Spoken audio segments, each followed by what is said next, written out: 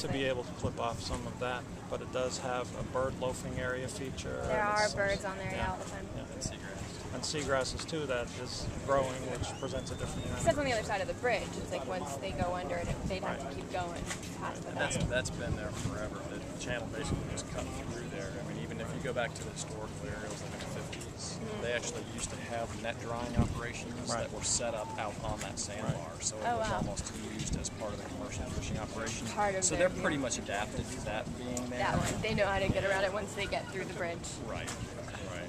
Their bigger concerns were this piece out to where you see those,